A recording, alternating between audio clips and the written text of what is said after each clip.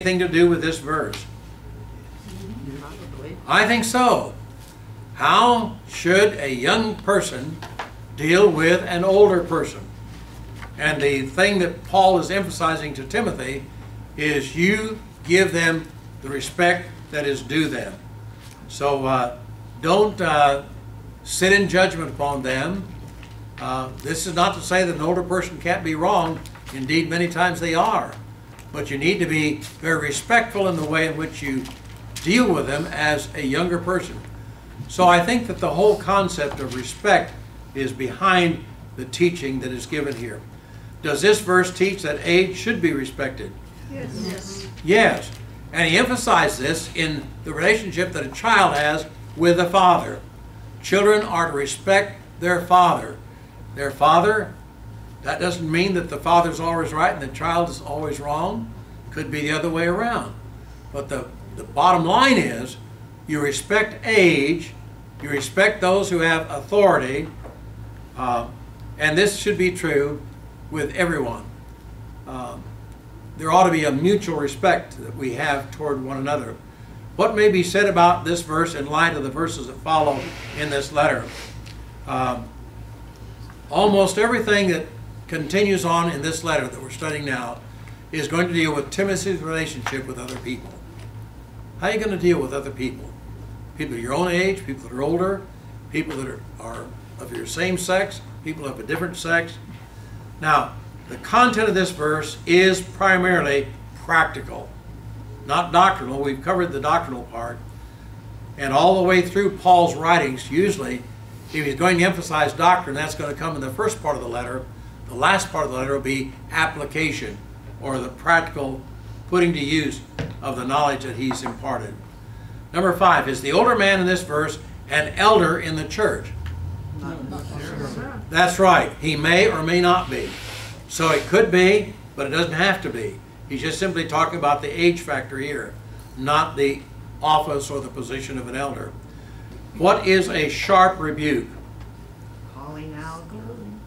Yeah, it's using words in place of fists.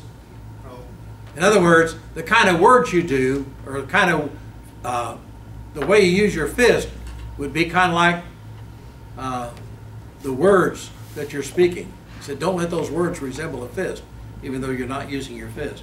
So it's a, a figurative use of the term when he says a sharp rebuke, as if, uh, how could you be so stupid? How could you be so wrong? But the word stupid would be a case of being sharp, where might you consider a different position? Would be gentle. That would not be a sharp rebuke. Now, does the Bible place very much stress on respect for age? Yes. Yes, it does. Write down Leviticus 19:32. Leviticus 19:32. This was especially true in the Old Testament times. In Leviticus 19:32 he says, "You shall rise up before the gray-headed and honor the aged, and you shall revere your God. I am the Lord." Number 8, do old men have the liberty to do as they please because they're old? No. Ha! Some think so. Boy, you were ready with that answer. Do you know who you're talking to when you said that? we get one right. Ah, yeah. I get the message, and you were very nice. All right. Number nine, what does it mean to appeal? Kindly show the way. Yeah, kind of like urging or begging or entreating. What will be true of this appeal if it is made to him as a father? well received. That's exactly right, because it's going to be made in love, in respect. Number 11, what does this verse tell us about Paul's concept of the church? Family. Family.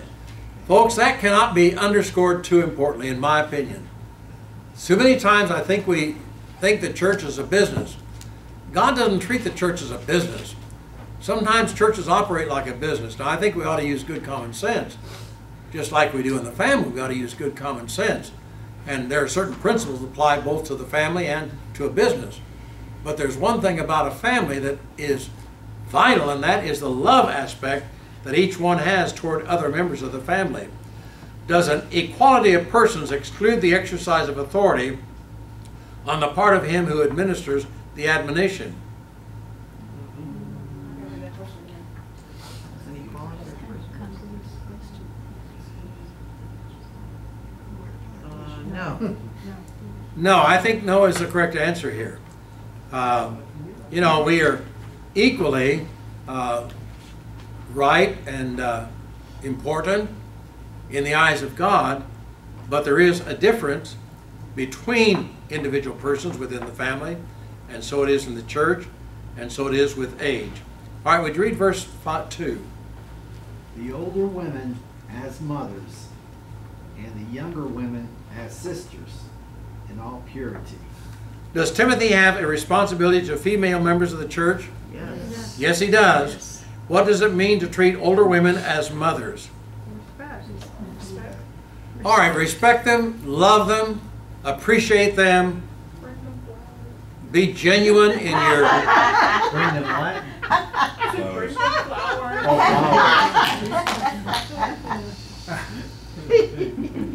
I'm glad I came tonight. why, why was the instruction to treat younger women as sisters needed? Not to be excluded. Yeah, and Builds up their confidence. this is a case of where Timothy is a young man and he needs to be careful of his relationship with uh, the people, the younger women, about his same age. Uh, I don't know how it is in our colleges today. I only know that uh, when I was in college, the instruction that was given by the professors to me was made very strong.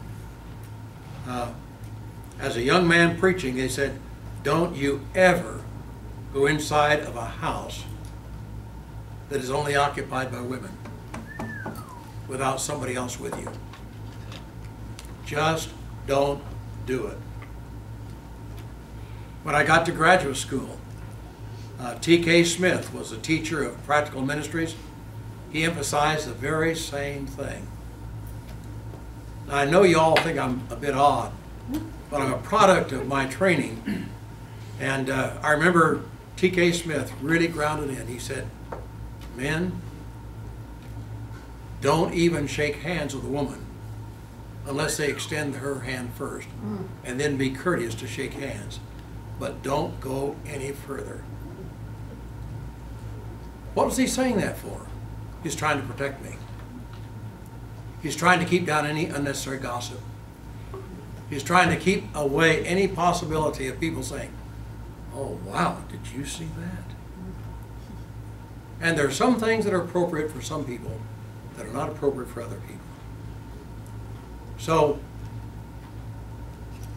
I think that this is behind what he's saying in this particular verse. Let, let me go on to number four.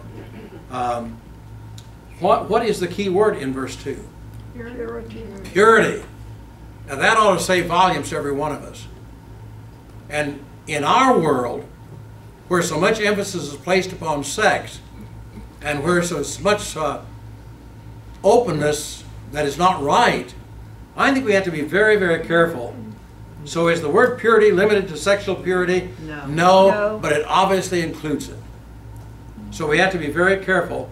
Purity is a thing that ought to be uppermost in our minds. Not always easy, but it's always important. Number, verse 3, please. Honor widows who are widows indeed. What is suggested in this verse with the word widows? I wrote it on the board. You notice this, these are the two Greek words. Do you notice how the definitions are very much alike? One word refers to the widow. Why is why are these two words alike? Because the widow has been robbed of her husband. And so there is a very close association. And it helps us to understand why are we concerned about helping widows? They need help. They've been robbed. And he's going to make a distinction now between the younger widows and the older widows that uh, are particularly be concerned about. Number two, did widows, particularly older widows, have an easy time of finding employment in New Testament days? No, they did not. Not in New Testament days.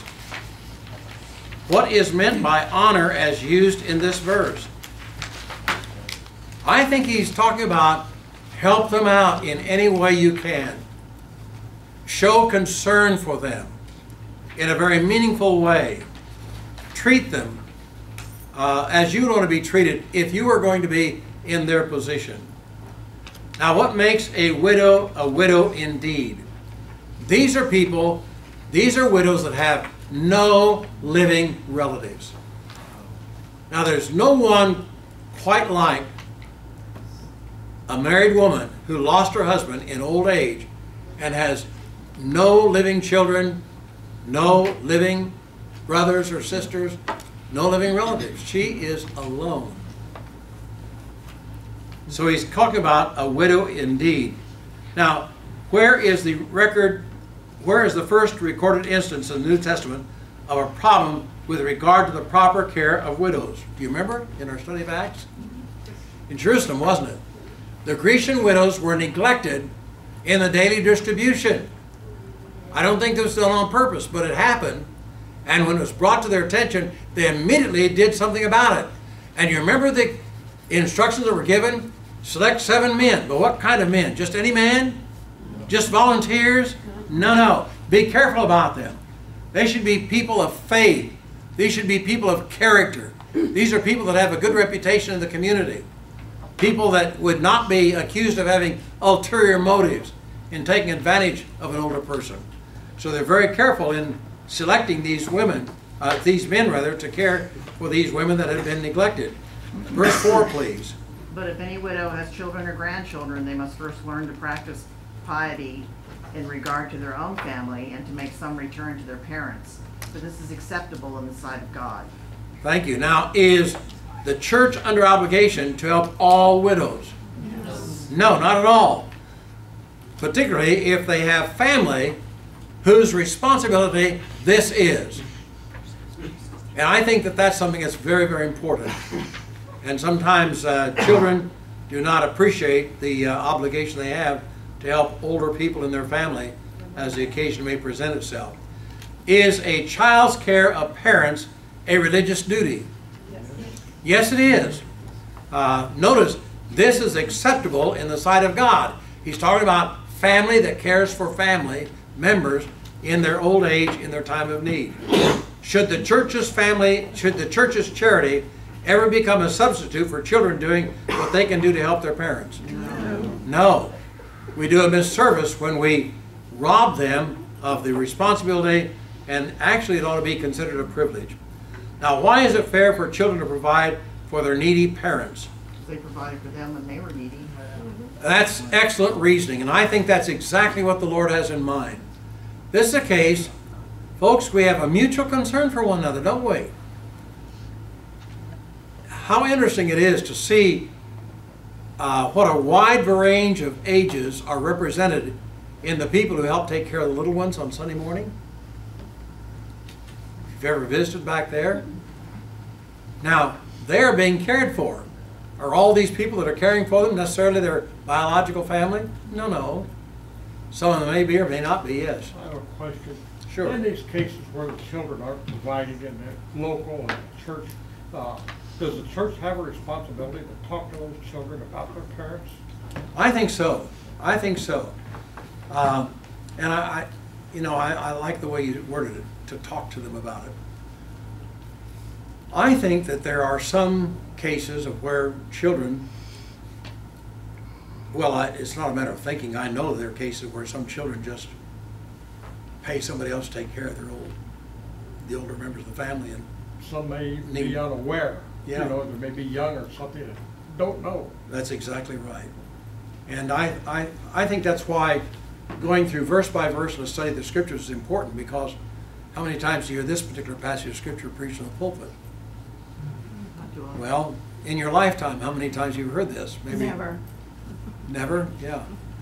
Uh, You know, and uh, I, I, I don't like to say this, but I, I confess to you, there's some scriptures, as old as I am, I've never preached on yet. And uh, I don't understand these preachers say I can't find anything to preach on. Man. I find more than I can handle. Why is the reason that you haven't preached on some of the verses already yourself? I'm sorry? You said there are some that you have not preached on yourself. Yeah. that's I true. said, and why is that? Haven't had time. Oh. Okay. Yeah. Uh, I'm going to, when I get, when I get a chance. Uh, Some of them I don't understand well enough to preach on yet. Yes. You know, my, uh, my dad, when he, uh, we took him over to assisted living, and he goes, um, he goes, well, now it's your turn to take care of me, because you need to come and visit me and all that. And I said, what does that mean? Do I have to pay you an allowance? Like you used to do to us when we were kids? Yes. And so are you keeping the allowance going? Well, he's dead. Did you take it? Oh, oh, did I take him? No. Kidding. Now, what does it mean to practice piety? I think this is simply a way of saying, uh, put your Christianity to practice. Show the kind of love for one another as God has shown toward you and as your parents showed toward you when you were little children.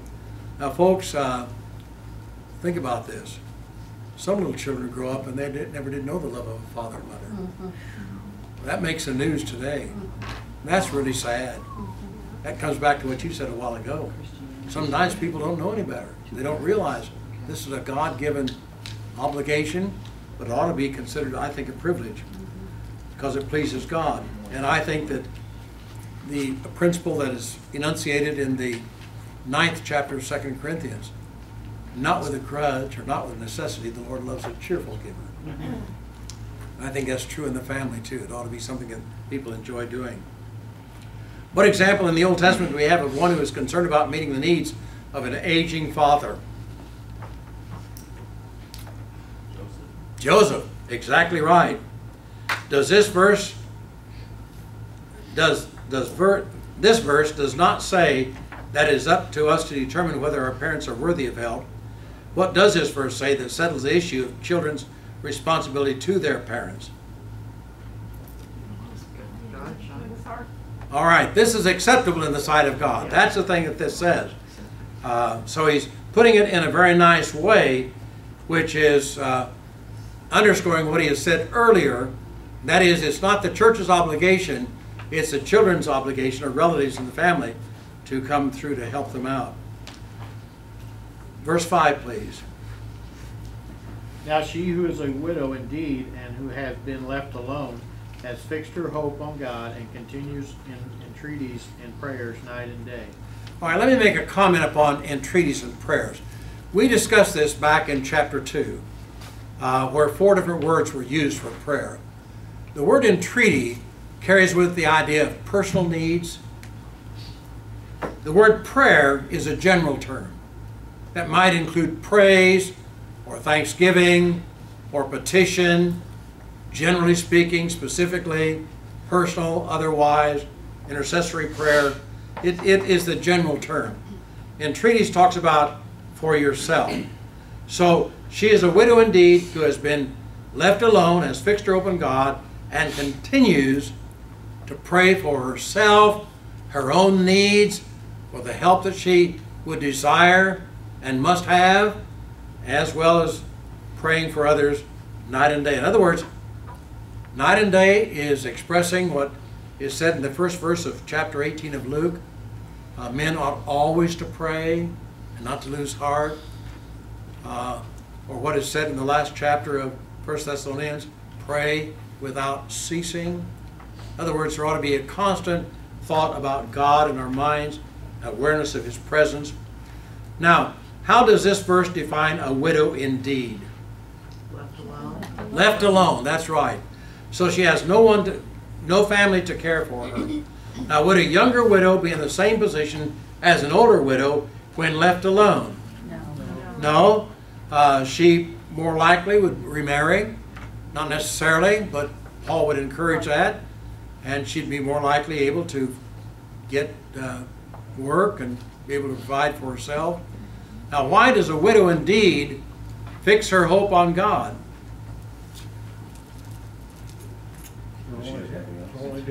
That's the only place she knows to turn. Where else is she gonna go?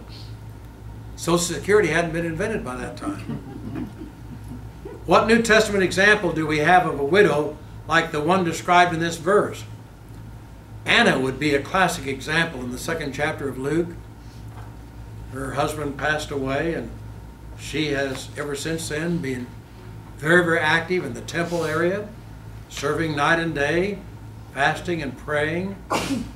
Uh, Luke chapter 2, verses 36 and 37 is a reference that will describe her role as an older widow. One is a widow indeed. Number five, what does this verse tell us concerning the religious characters, character rather, of widows indeed? She fixes her hope on God. That's right. She ha- she's one who enjoys a good relationship with God. Uh, that speaks volumes. What is to be understood by night and day? Say that with one word. Always. That's right.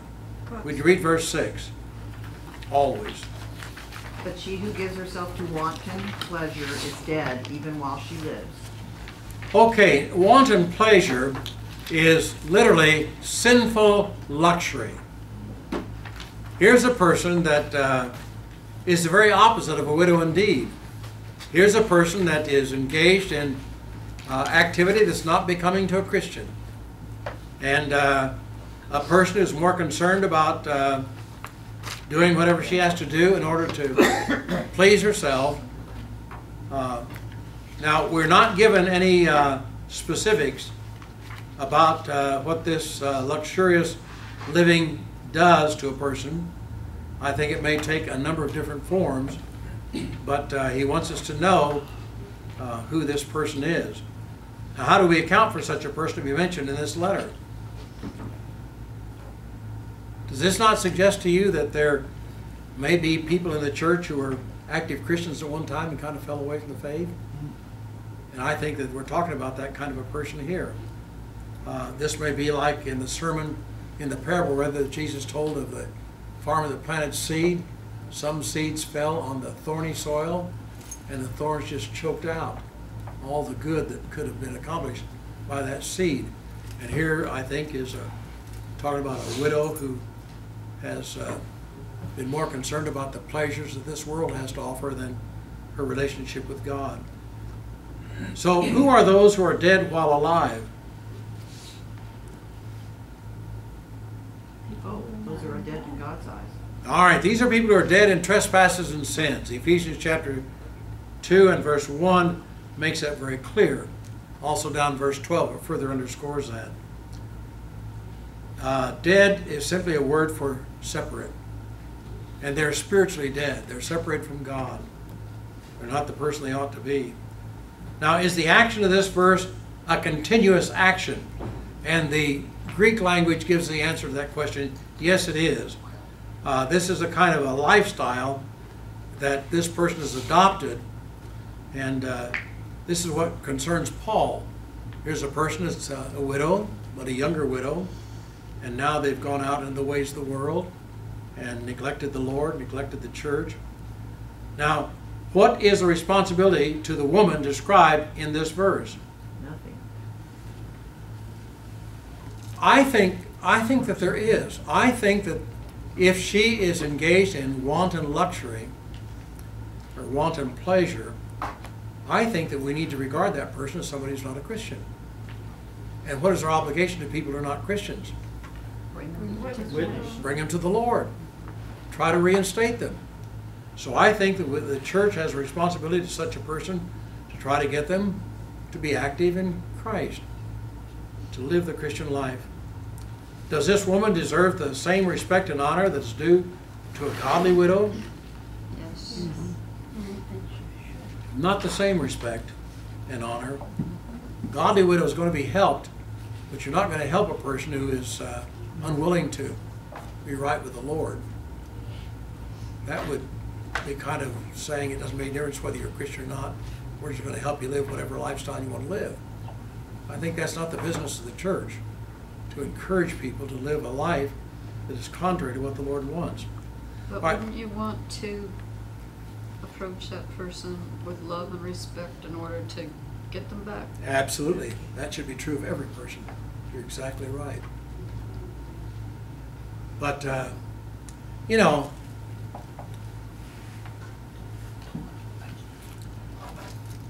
there are a lot of people that uh, are begging today. And some of them have a genuine need, some of them don't. It's just made their lifestyle. Mm-hmm. And I think that helping that kind of person contributes to their problem, not helps them. And sometimes the real help they need is not monetary help, it's spiritual help. We need to make sure we make that kind of distinction. All right, verse 7. Prescribe these things as well, so that they may, may be above reproach. Thank you. Now, included in they in this verse would be the widows that he mentioned in 5 and 6, or perhaps the children or the grandchildren or both. Uh, what's the reason for prescribing these things? We want them to be godly people. We want them to be above reproach. Talking about these people that have gone to the world and engaged in the world's pleasure rather than the Lord's will. We have, we have concern for them. We want them to live the righteous life as God so intended.